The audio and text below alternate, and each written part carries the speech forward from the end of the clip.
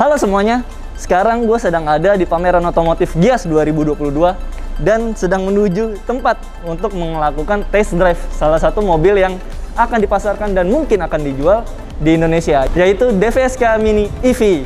Nah, bagaimana keseruannya? Terus tonton video ini dan jangan lupa untuk like, subscribe, dan komen. Yuk kita gas!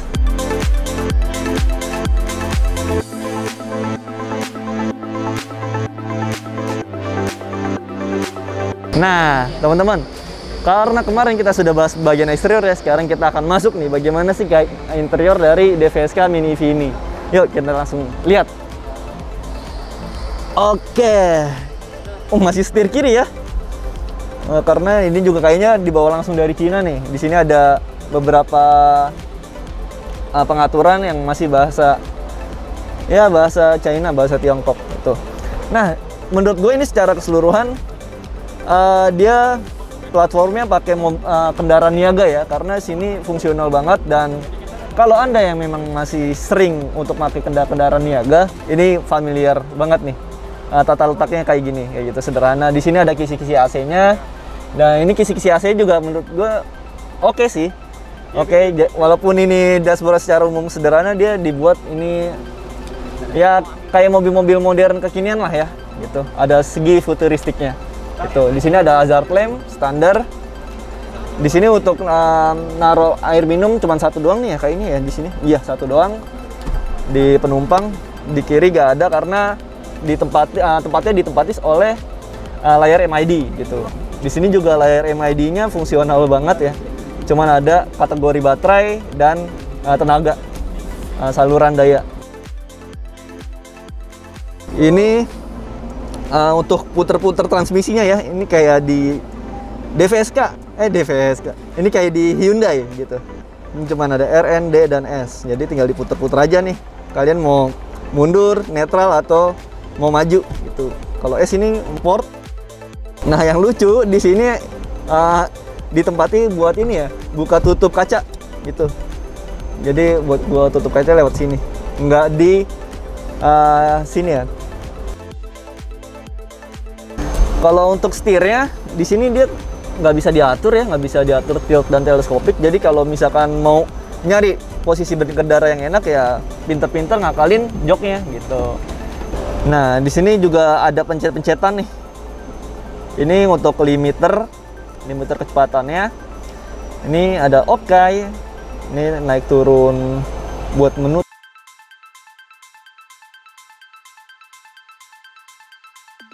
oh di sini dia di sini ada cruise controlnya? Tuh cuman uh, mungkin harus mencapai beberapa kecepatan ini dulu ya kecepatan tertentu dulu baru aktif. Kalau sebelah kanannya sini kosong. Dummy aja.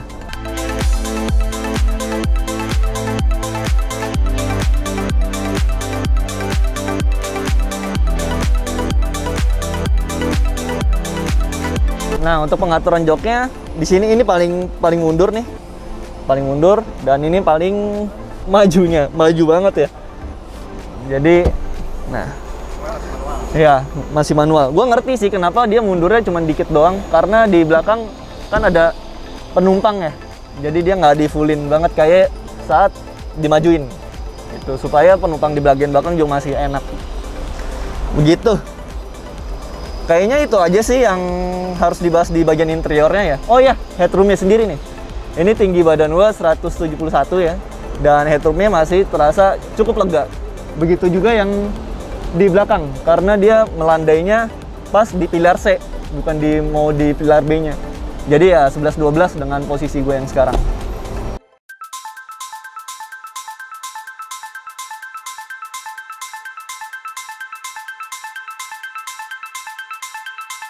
Nah, gue juga bakal ngelakuin test drive ya bersama teman gue nih, Dori. Oh. Nah, kalau kalian lihat-lihat video-video news dari kompas.com, dia nih yang ngedit. Gitu ya. Ya udah, kayaknya kita langsung gas aja kali Dor ya. Berangkat. Dan kita ngegasnya ke bagian basement dari Gias 2022. Nah,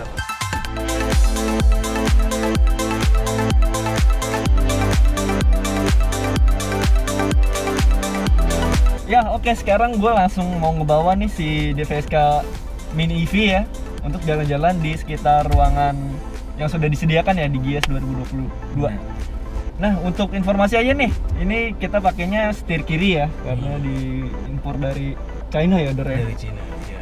Dan ini bisa ada ininya loh, ada animasinya ternyata di sini. Kira walaupun ya kira Cuman ini doang ya action. Ah, ah. biasa aja gitu, soalnya kan dashboard kan ya sederhana, lah ya. Sederhana, minimalis lah ya. Mm-mm. Udah deh, kita langsung Oke, coba kita coba. gas. Ini gimana ya? Oh, dia harus direm dulu kalau untuk muter transmisinya. Buka. Dan sekalian nih, ini pertama kali gue nyetir mobil setir kiri. Kiri kiri ya. Waduh, Gimana lu kira-kira? kagok sih. Cuman untungnya dia saat mundur ini dibantu garis bantu gitu tuh. Heeh. Jadi masih ya oke sih masih meminimalisir gejala-gejala yang tidak diinginkan. Iya. Dan menariknya di sini masih ada animasinya ya, walaupun Mm-mm. memang kayaknya dashboardnya ini sederhana banget gitu. Minimalis ya, agak minimalis. ya. Iya. Nih kita menuju area basement. Basement. Di mana menjadi tempat kita untuk test drive ya. Yo, Oh, di sini ada distribusi tenaganya tuh kelihatan. Kelihatan ya. Sudah 10 udah 10%, 11%. Tapi bukan angka kayak di mobil-mobil biasa. Kan kalau di mobil biasa kan 120, Heeh. eh 20, 40 dia persenan. Tuh. Oh, tenaganya enak sih, Dor. Tenaganya enak. Dia langsung ngisi banget. Tapi emang nggak kenceng. Mm-mm. soalnya mobil ini kalau di uh, lembar spesifikasinya cuma punya 47 tenaga kuda apa ya Oh. iya sekitar segitu ya cocok buat di mobil-mobil inilah Perkotaan. uh, komplek Komplek ya. iya nah ini nih salah satu hal yang Dikhawatirkan. dikhawatirkan kalau bawa mobil listrik Uh, orang sekitar nggak ngeh Karena nggak ada suaranya kali ya mungkin. Iya. Sini, wah, beloknya enak ya. Beloknya enak, dia nggak capek, nggak susah buat masukin si kepalanya. Mm-mm. Wah kan, tenaganya Kuat ya. iya, powerful banget. Tuh, kecil-kecil cabai rawit emang. Iya nih. Wis. Tapi kalau udah ngebut tuh udah ini ya, Udah enak. enak ya nggak ada nggak Nggak. berkurang goyangannya gitu. Ini gue langsung tancap.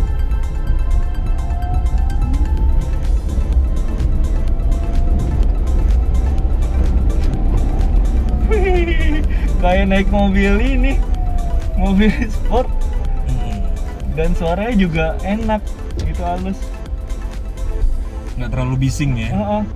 Ini enak, di, berarti mobil ini enak kalau dipakai di jalanan yang emang halus gitu, Heeh. bukan jalanan yang banyak lubang-lubang.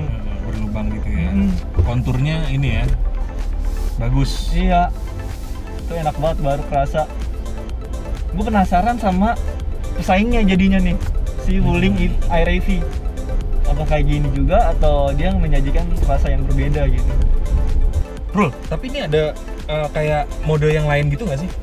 Kalau di sini sih ada ya S nih, kayaknya ini sport, deh. ya. Apa boleh kita coba kali? Coba aja kali ya.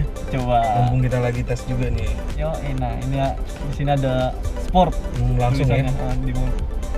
Oke, gas. Oh, oh iya Dor. Oh, iya. Ini beda sih. Dia punya uh, saluran tenaganya lebih agresif ya. Hmm. Nah, ini soalnya udah 45% nih. Hmm. 45% baterai bis- masih bisa nempuh sekitar 64 km.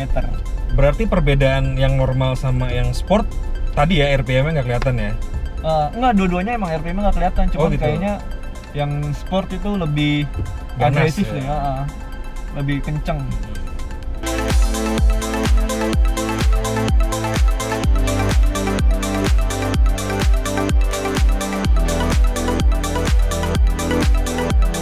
Nah, ini di tangan gua ada charger dari DVSK Mini EV. Di sini colokannya ntar kita buka. Nah, ini apa ya? Ini DC2 du- DC2 kalau nggak salah ya. Dan yang penting di sini kepalanya sudah bisa atau sudah support ke colokan rumahan.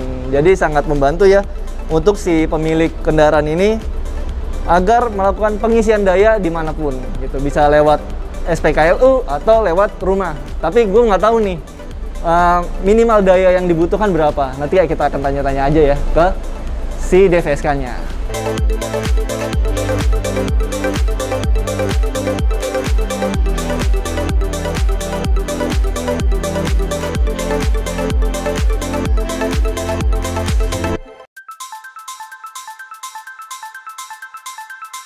Ya, itu aja dari saya untuk mengulik interior dari DVSK Mini EV ini sekaligus jalan-jalan di tempat yang memang ya cukup terbatas ya gitu. Secara keseluruhan menurut gue sih ini mobil menarik ya.